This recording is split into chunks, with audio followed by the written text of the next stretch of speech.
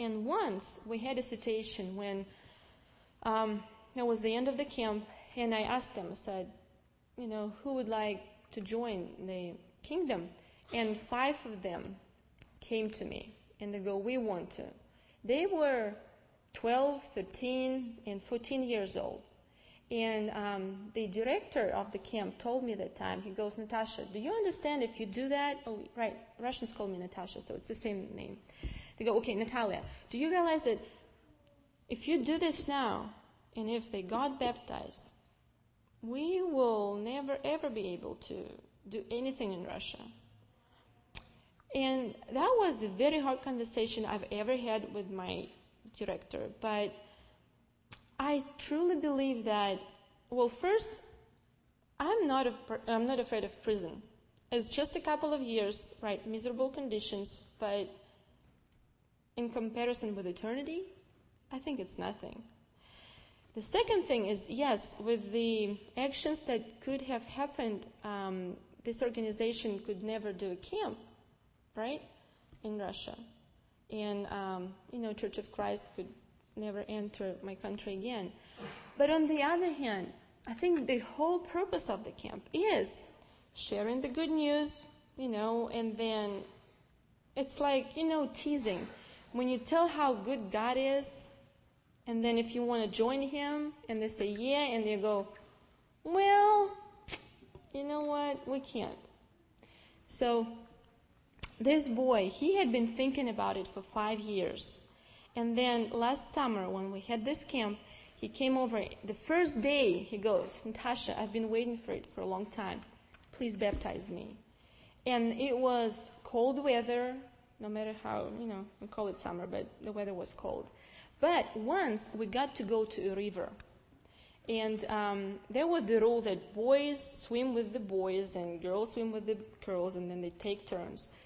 And I thought my head will go crazy because how can I get in the same, how can I get in, this, in the river at the same time when the boys go?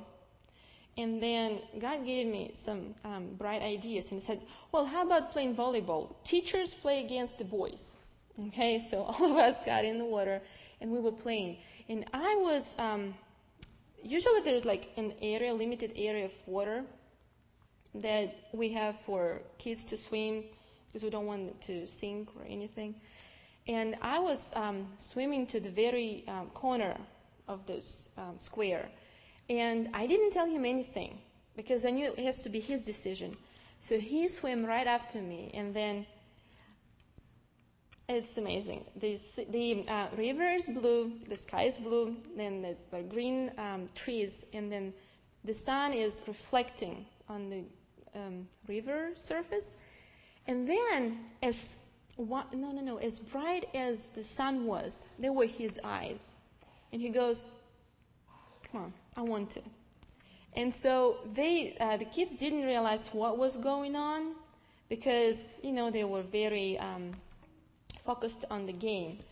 But then the moment when he raised, you know, from the water, he, I could see, he has been changed. And you can see this, you know, when a person believes in God and then he acts, and then when he's saved, you can see in his eyes and his actions that he is different and he is, you know, from your family. So he belongs to the family.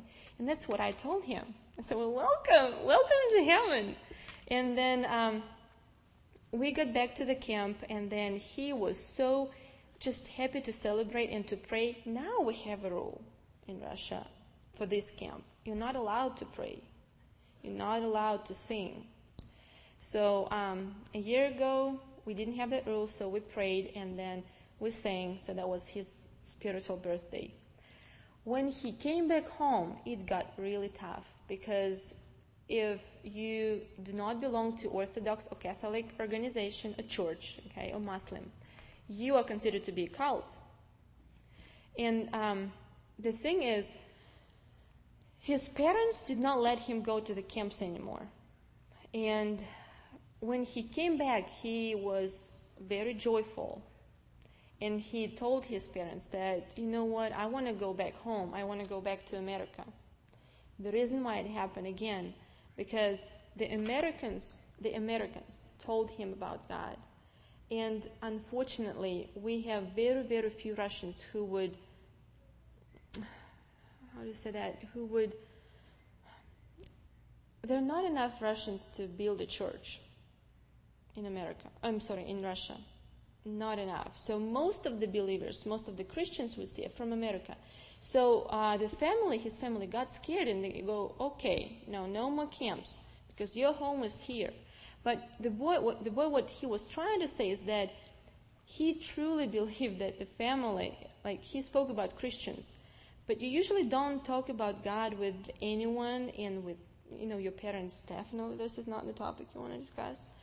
Um, so he sort of confused the notions, but we got him. But what happened is we cannot reach him now. I can't. And I guess because just the parents prohibited, you know, him to communicate with anyone. So even if you hear the word of God in Russia, even if you accept, it's very hard to survive. I was very happy to meet you and go to this church because I haven't been in the church for four years. This is so it's such a long time anyway. So you have to like really stand strong when you meet when you have faith and when you meet God.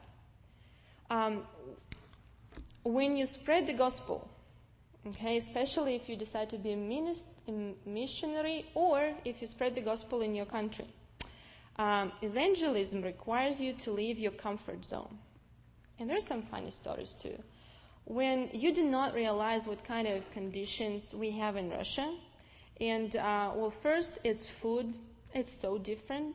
And you can say that if you don't have a nice meal, you probably won't, you know, do that well, whatever you do during the day. Then sleeping conditions and um, those beds. Missionaries usually do not live in expensive five-star hotels. Okay, so when you go somewhere, again, just you have to forget of what you have here and the comfort you have here in your life. And this is a sacrifice and service that you can do for God and for us people. Because again, if 10, no, no, that was five. If five Americans had not left Atlanta seven years ago, I would have never joined the kingdom. And I cannot thank you enough to first supporting financially, supporting those people to go.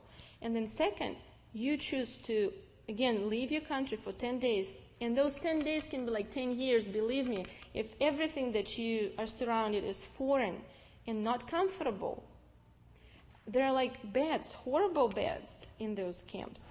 And uh, we suffer too, but you know, we kind of live in that condition, so it's not a big of a suffering. Anyway, so in comfort zone does not mean only physical, but spiritual too you are not allowed to do a couple of things in Russia. I guess in America the same. You don't don't want to talk about politics, and then you have to mind um, the questions. And there's the body language. Like body language is different, and um, but I will tell you, people are the same here in America. So if you open to them, they will be open to you. Then, in the moment of your greatness, greatest need, God will provide. And this is such a powerful statement, and this is so, so true. I will tell you a story about God's greatest might that I've experienced recently. When I got my first visa, I was asked to do this kind of talks uh, in America in a couple of churches. And um, the